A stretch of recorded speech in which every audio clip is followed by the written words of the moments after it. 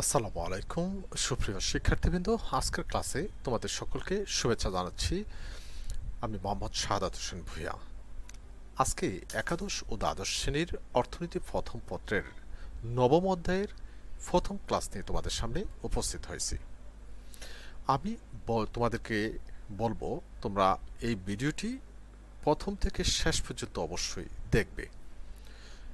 যাই হোক, আজকের ক্লাসে সকলকে ফুলেল শুভেচ্ছা।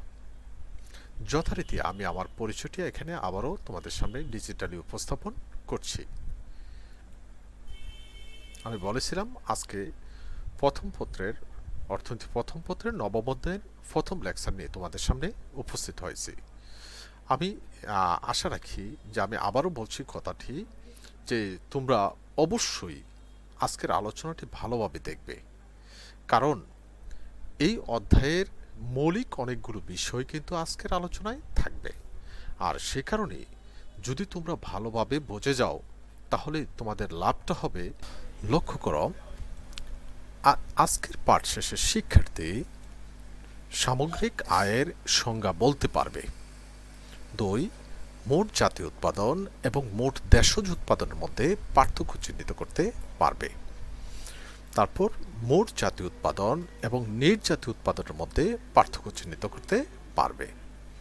চতুর্থ যে প্রশ্নটি আমরা নিয়ে আসছি, মোট দেশজ উৎপাদন এবং নেট দেশজ উৎপাদনের মধ্যে পার্থক্য চিহ্নিত করতে পারবে। শিক্ষার্থীবৃন্দ, আজকে এখানে তোমার কাছে মনে হতে পারে অনেকগুলো শিখন ফল আমরা নিয়ে আসছি। আবার আমি যে কথাটা আগেও বলেছি, আজকের এই আলোচনার মাধ্যমেই তুমি এই অধ্যায়ের অনেকগুলো বিষয় সম্পর্কে পরিপূর্ণ ধারণা লাভ করতে পারবে। যাই হোক প্রথমে আমরা আসি সামগ্রিক আয় কাকে বলে, যার ইংরেজিটি হচ্ছে অ্যাগ্রিগেট ইনকাম লক্ষ্য করো, বলা হচ্ছে কি একটা নির্দিষ্ট সময়ে, অর্থাৎ নির্দিষ্ট সময়টা বলতে ডিউরেশনটাকে বোঝাচ্ছে এক বছর সাধারণত এক বছরে। জনগণের অর্জিত আয়ের সমস্যাটাকে বলা হয় সামগ্রিক আয়। আবার বলছি কথাটা। একটি নির্দিষ্ট সময়ে সাধারণত এক বছরে জনগণের অর্জিত আয়ের সমস্যাটাকে বলা হয় সামগ্রিক আয়। তারপরে যদি এটাকে আবার আমরা একটু বলি, লক্ষ্য করো, একটি নির্দিষ্ট সময়ে সাধারণত এক বছরে দ্রব্য ও সেবা উৎপাদন নিযুক্ত উৎপাদনের উপকরণগুলো, এই যে উপকরণগুলোর অর্জিত আয়ের সমস্যাটাকে বলা হয় সামগ্রিক আয়। একটু লক্ষ্য করো, উৎপাদনের উপকরণ কিন্তু চারটা, ভূমি শ্রম, মূলধন, সংগঠন। ভূমির আয়টাকে আমরা বলি খাজনা। এখানে লক্ষ্য করি, আমরা একটু দেখো। সূত্রের মাধ্যমে যখন প্রকাশ করলাম ওয়াই সমান আর plus W plus I plus P এখানে দেখো আর হচ্ছে রেন্ট অর্থাৎ রেন্ট মানে খাজনা। ভূমির আয়টাকে বলা হয় খাজনা। ডাব্লিউ দিয়ে বোঝাচ্ছে ওয়েজ অর্থাৎ শ্রমিকের মজুরিটাকে বলা হয় যে এখানে মজুরি, শ্রমিকের প্রাপ্ত আয় কি? মজুরি। এই মজুরিটা হচ্ছে ওয়েজ অর্থাৎ ডাব্লিউ। আর মূলধন থেকে পাচ্ছি আমরা সুদ। এই সুদের ইংরেজিটা হচ্ছে কি? ইন্টারেস্ট এই জন্য এখানে আই লেখা হচ্ছে। তারপরে দেখো যে আমরা যে বাকি যেটা রয়েছে সংগঠন, সংগঠনের অর্জিত আয়টা হচ্ছে মুনাফা। আর এই মুনাফার ইংরেজি হচ্ছে প্রফিট যেটাকে আমরা পি দ্বারা প্রকাশ করছি। তাহলে লক্ষ্য করো যে উৎপাদনের উপকরণগুলোর অর্জিত আয়ের সমষ্টির মাধ্যমেও আমরা কি করতে পারি? সামগ্রিক আয় নির্ণয় করতে পারি। এই ছিল মূলত এখানকার। তো যাই হোক, আমরা এখানে সামগ্রিক আয় সম্পর্কে জানলাম। এই ব্যাপারগুলো খুব খুব কাছাকাছি। মোট জাতীয় উৎপাদন। লক্ষ্য করো, মোট জাতীয় উৎপাদন কাকে বলে? একটি নির্দিষ্ট সময়ে একটি দেশে বা কোনো দেশের অভ্যন্তরে এবং বিদেশে অবস্থানরত দেশীয় নাগরিকগণ বা নাগরিক কর্তৃক যে পরিমাণ চূড়ান্ত দ্রব্য সামগ্রী ও সেবা উৎপন্ন হয়, তার বাজার মূল্যের সমষ্টিটাকে বলা হয় মোট জাতীয় উৎপাদন। আবার বলছি, একটু বিশ্লেষণ করে বলি কথাটা। মনে করো বাংলাদেশের কথা যদি বলি, বাংলাদেশের সব লোক কিন্তু এই মুহূর্তে দেশের ভিতরে নাই। অনেকেই তারা কি কোথায় আছে? প্রবাসে, বিভিন্ন কর্মে ব্যবসায় নিয়োজিত আছে। এই কথাটা একটু খেয়াল করো। অর্থাৎ বাংলাদেশের জনগণ এবার দেশে থাকুক আর দেশের বাইরে থাকুক, তারা একটা নির্দিষ্ট সময়, অর্থাৎ এক বছরে যে আয়টা করে, এটা দেশের ভিতরে হোক, দেশের বাইরে হোক, তার এই যে আয়ের, বলছি যে দ্রব্য সামগ্রী উৎপাদন করে, তার বাজার মূল্যের গুণফলের সমষ্টিটা হচ্ছে মোট জাতীয় উৎপাদন। ঠিক আছে, এই কথাটা কনসেপ্টটা কিন্তু ক্লিয়ার রাখবা।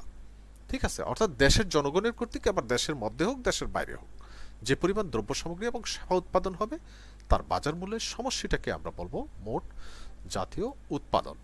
অর্থাৎ সূত্রের মাধ্যমে যদি লিখি, এটার ইংরেজিটা হচ্ছে গ্রস ন্যাশনাল প্রোডাক্ট এটাকে আমরা যদি লিখি, দেখো C plus I plus G C মানে হচ্ছে কনজামশন ভোগ, অর্থাৎ সমস্ত জনগণের ভোগ।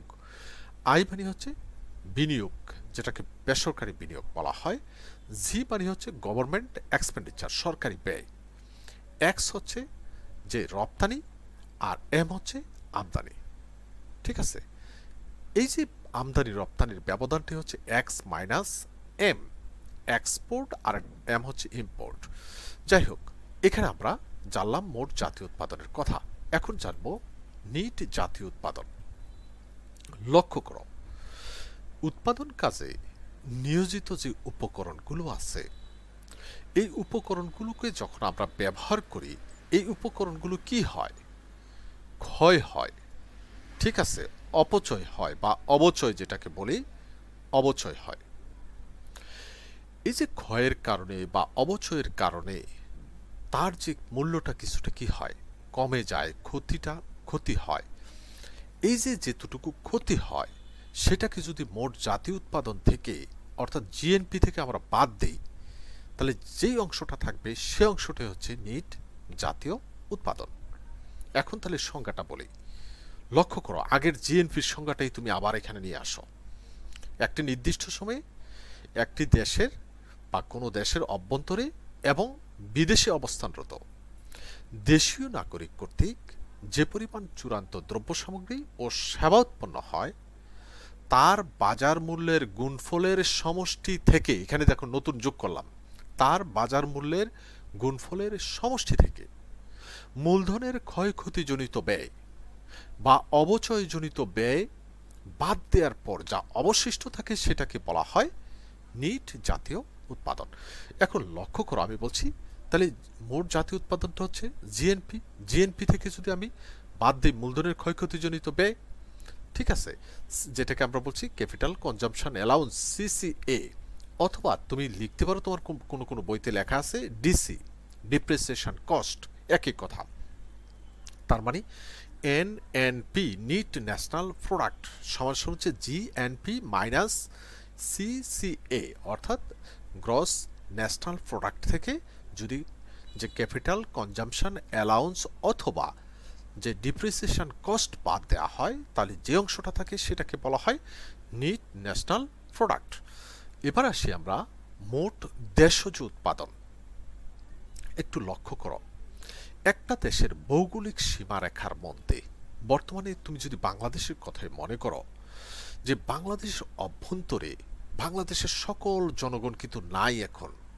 অনেক লোক প্রবাসে আছে, বিদেশে কর্মরত আছে, ঠিক আছে? তাহলে এই মুহূর্তে বাংলাদেশি জনগণ যতজন দেশের অভ্যন্তরে আছে, এক বছরের মধ্যে, এবং এই সময়ের মধ্যে বিদেশি যে মানে অনেক কর্মী বা বিদেশি অনেক প্রতিষ্ঠান কিন্তু আমাদের দেশে কি করতেছে, উৎপাদন কাজে নিয়োজিত আছে। তাদেরকে আমরা যোগ করে, অর্থাৎ এই ভৌগোলিক সীমারেখার মধ্যে, একটা নির্দিষ্ট সময়ের মধ্যে দেশীয় নাগরিক এবং বিদেশি নাগরিক যারা অবস্থান করতেছে, তাদের যে পরিমাণ দ্রব্য সামগ্রী উৎপাদন করবে তারা, তার এই উৎপাদন তাদের এই উৎপাদনের পরিমাণটাকে যখন আমরা বাজার মূল্য দ্বারা গুণ করব, তাহলে যেটা পাবো সেটি হচ্ছে মোট দেশজ উৎপাদন। তাহলে আবার বলছি, লক্ষ্য করে বা সংজ্ঞাকারে যদি বলি, যে একটি নির্দিষ্ট সময় সাধারণত এক বছরে কোনো দেশের অভ্যন্তরে দেশীয় নাগরিক এবং দেশে অবস্থানরত বিদেশি নাগরিক। আবার বলছি কথাটা। একটা দেশের অভ্যন্তরে বা ভৌগোলিক সীমারেখার মধ্যে দেশীয় নাগরিক এবং দেশে অবস্থানরত বিদেশি নাগরিক কর্তৃক যে পরিমাণ চূড়ান্ত দ্রব্য সামগ্রী ও সেবা উৎপাদন হয়, তার বাজার মূল্যের গুণফলের সমস্যাটাকে বলব আমরা মোট দেশজ উৎপাদন। গ্রস ডোমেস্টিক প্রোডাক্ট যেটাকে বলা হয় জিডিপি দেখো জিডিপি এখানে কি আসতেছে? C plus I plus G অর্থাৎ এক্ষেত্রে যদি আমরা তিনটা খাতকে বিবেচনা করে অর্থনীতিতে, তাহলে এখানে সি ভোগ ব্যয় আই বিনিয়োগ ব্যয় এবং জি হচ্ছে সরকারি ব্যয়। ঠিক আছে, এখানে কিন্তু আমরা যেহেতু দেশের অভ্যন্তরের কথা, এক্ষেত্রে আমদানি এবং রপ্তানিকে আমরা বাদ দিয়ে এখানে হিসাব করব।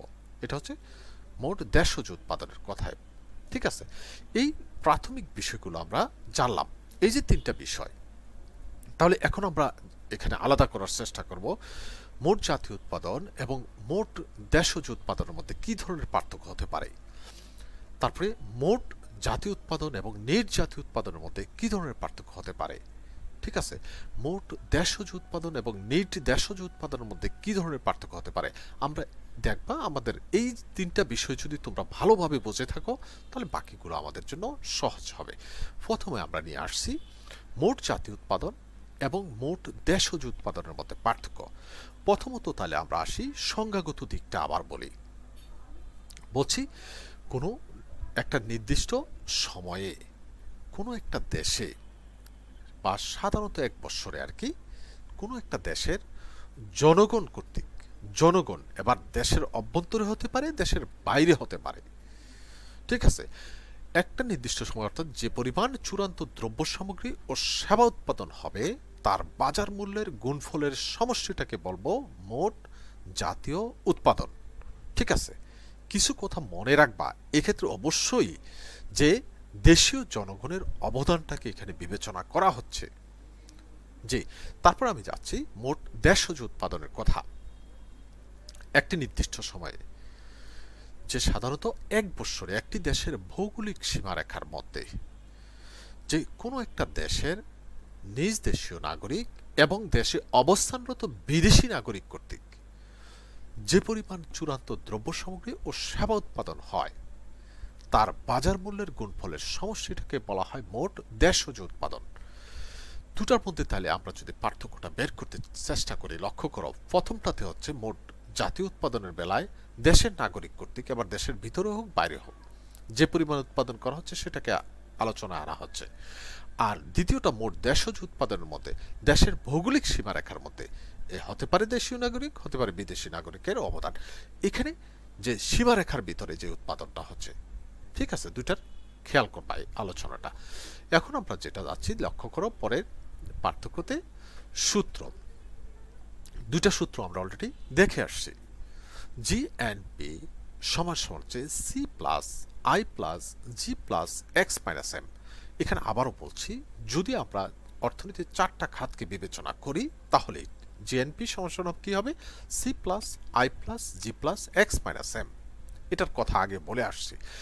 এখন লক্ষ্য করো, মোট দেশজ উৎপাদনের ক্ষেত্রে, অর্থাৎ জি ডিপি সমান সূত্রটা হবে C plus I plus G অর্থাৎ এক্ষেত্রে আমদানি এবং রপ্তানিটা অন্তর্ভুক্ত হবে না। ঠিক আছে?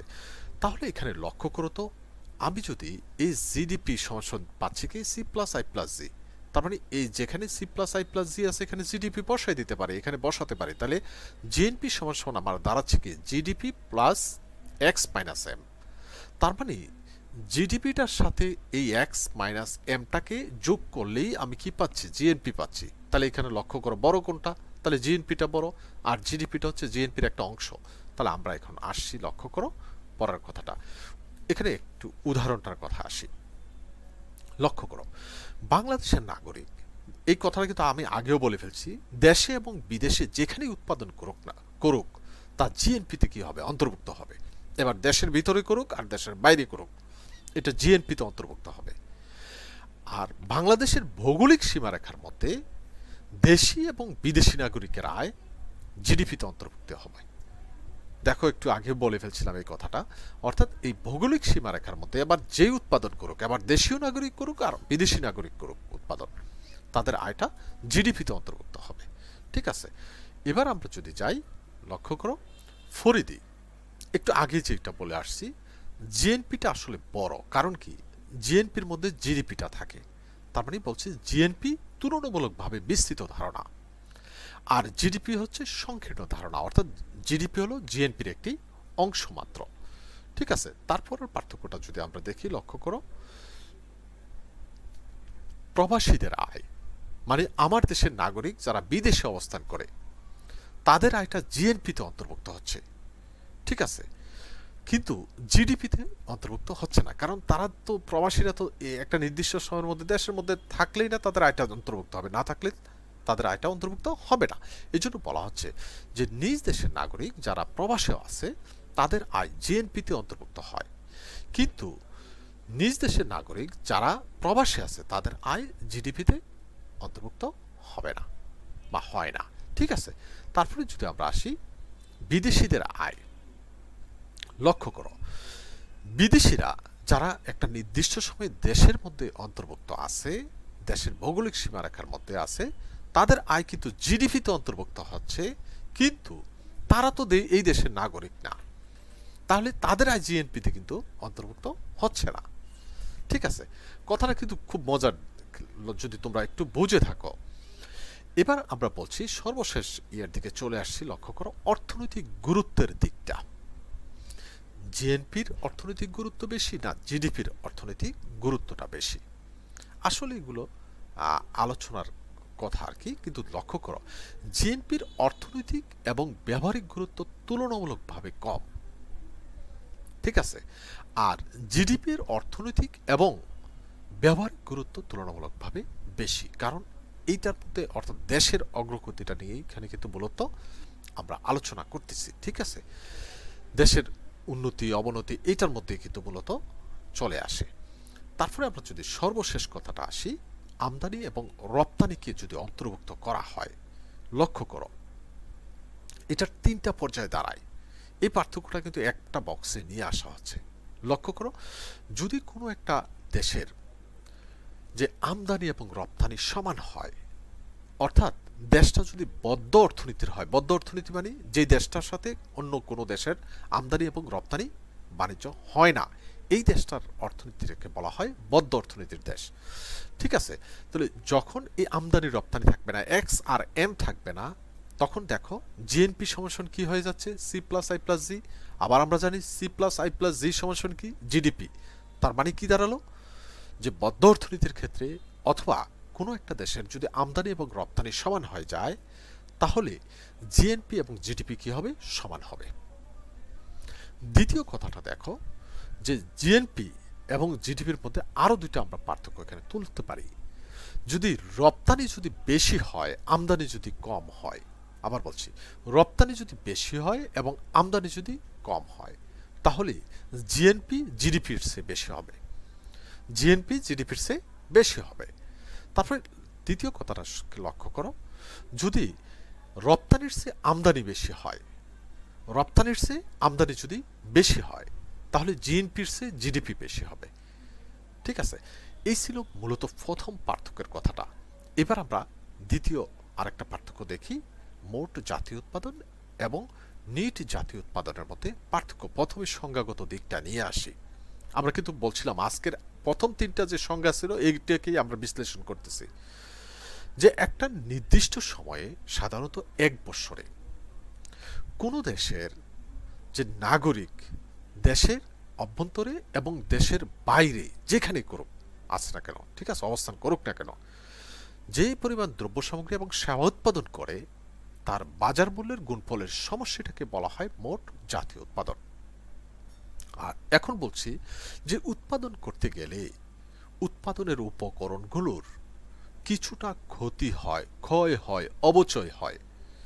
আর এই ক্ষয়ক্ষতির পরিমাণটা যদি মোট জাতীয় উৎপাদন থেকে আমরা বাদ দিয়ে দেই, তাহলে যে অংশটা পাবো, অবশিষ্ট যে অংশটা পাবো, সেটি হচ্ছে নিট জাতীয় আয় বা নিট জাতীয় উৎপাদন।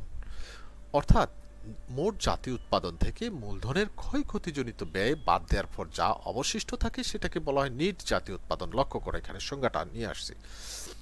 যে একটি নির্দিষ্ট সময় সাধারণত এক বছরে কোনো দেশের অভ্যন্তরে এবং দেশে বিদেশে অবস্থানরত দেশীয় নাগরিকগণ কর্তৃক যে পরিমাণ দ্রব্য সামগ্রী ও সেবা উৎপাদন হয়, তার বাজার মূল্যের গুণফলের সমস্যাটাকে বলা হয় মোট জাতীয় উৎপাদন।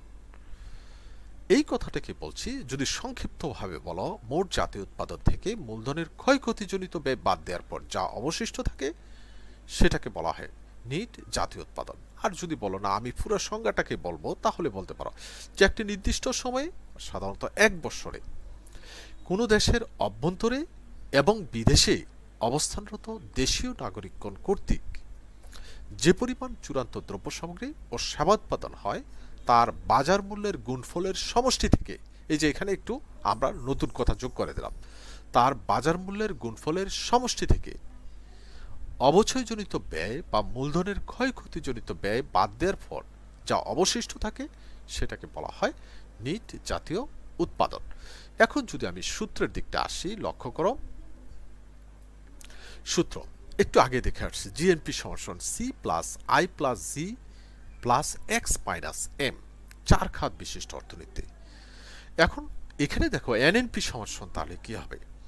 জিএনপি মাইনাস অর্থাৎ জিএনপি মাইনাস হচ্ছে কি সিসিএ অথবা ডিসি ঠিক আছে? অর্থাৎ মূলধনের ক্ষয়ক্ষতিজনিত ব্যয়টা যদি আমরা জিএনপি থেকে বাদ দিই, তাহলে আমরা এনএনপি পেয়ে যাই।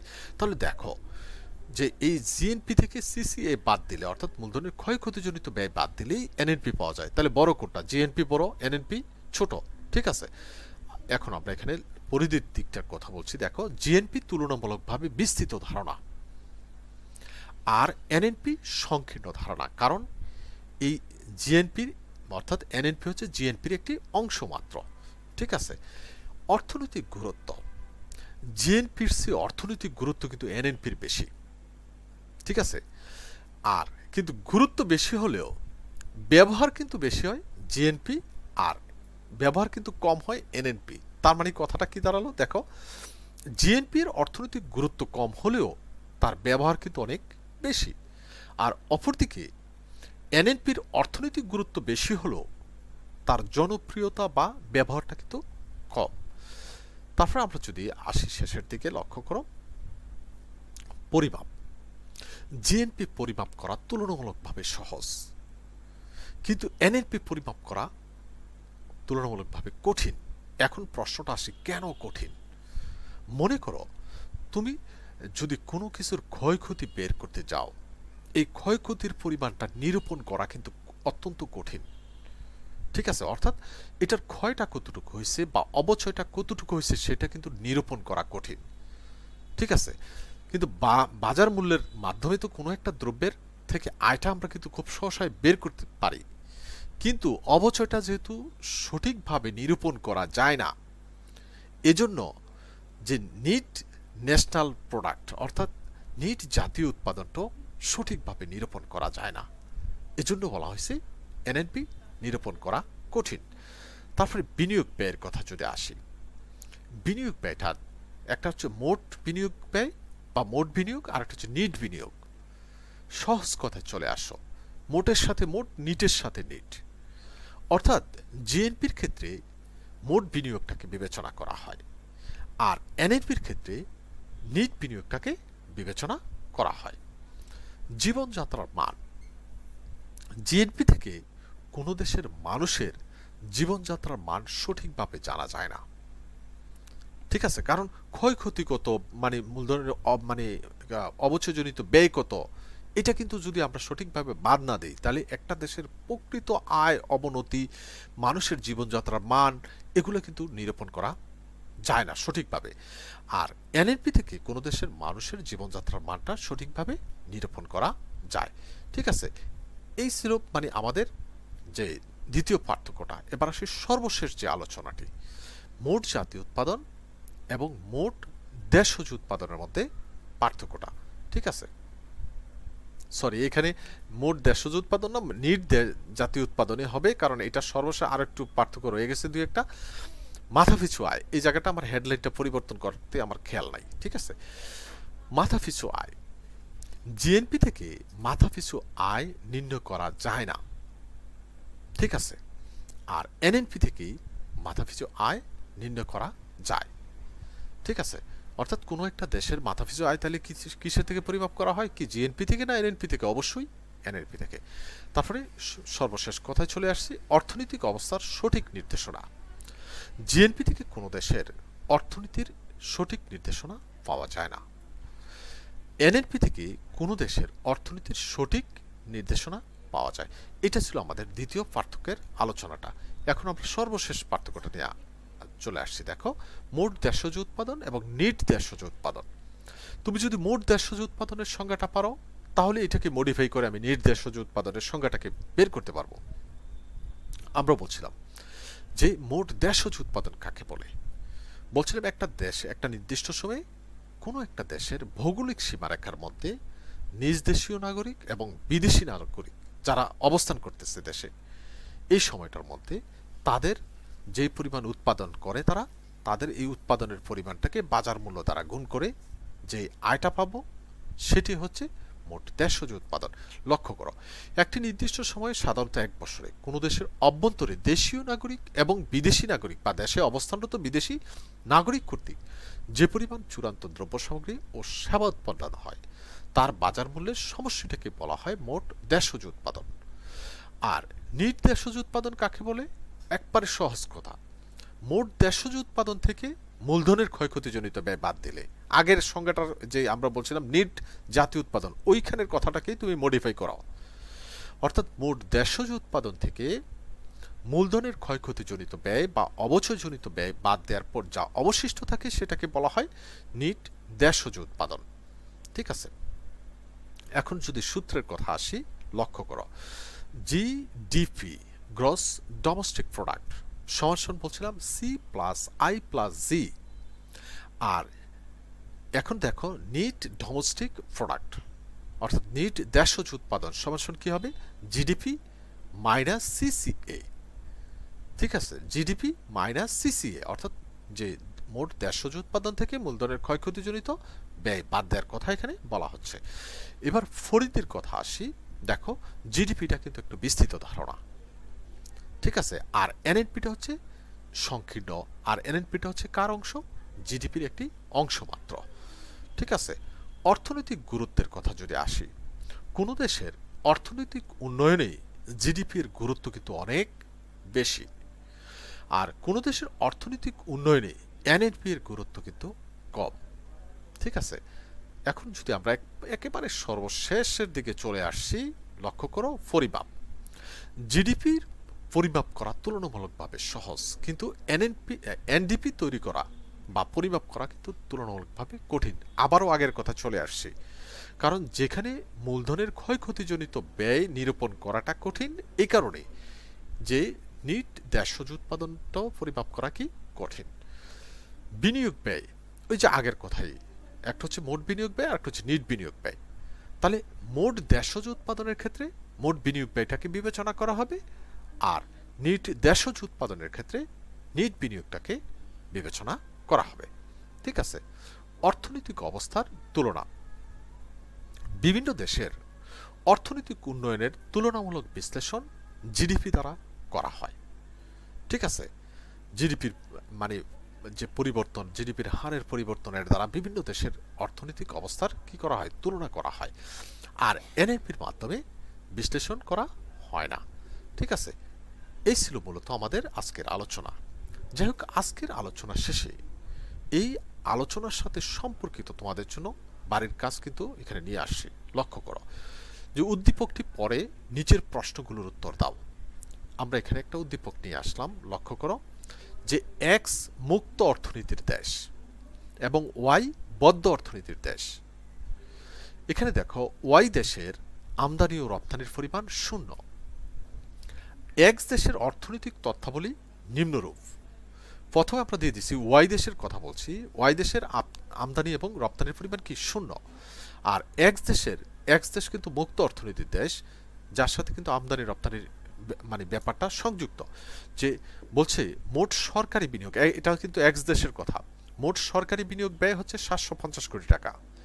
মোট বেসরকারি ভোগ ব্যয় আটশো কোটি টাকা। মোট সরকারি ব্যয় পনেরোশো টাকা, পনেরোশো কোটি টাকা, মোট আমদানি ব্যয় নয়শো কোটি টাকা এবং রপ্তানি ব্যয় এক হাজার কোটি টাকা। এখন বলা হচ্ছে, লক্ষ্য করো, প্রথম প্রশ্নটা, এক দেশের এক্স দেশের মোট জাতীয় আয় নির্ণয় করো। আমি কিন্তু আর বললাম না, কারণ বেশি একটু বললেই তোমরা বুঝে ফেলবা, কারণ সূত্রটা প্রয়োগ করলে তোমার এখান থেকে জাতীয় আয়টাকে বের করতে পারব আমরা। তারপর বলছে, উদ্দীপকের আলোকে এক্স দেশের অর্থনীতির সাথে ওয়াই দেশের অর্থনীতির তুলনা করো। ঠিক আছে? এবং কোনটি উত্তম ব্যাখ্যা করো। ঠিক আছে? আজকের এই আলোচনাটা আমাদের এ পর্যন্তই। আমি আশা করি তোমরা বইয়ের সাহায্য নিয়ে এই প্রশ্নের আলোচনাটি, অর্থাৎ এই প্রশ্নের সমাধানটি তোমরা অবশ্যই স্বাচ্ছন্দ্যের সাথে করতে পারবে। তো সবাই ভালো থাকো, সুস্থ থাকো এবং নিয়মিত পড়াশোনার মধ্যে থাকো। ধন্যবাদ সবাই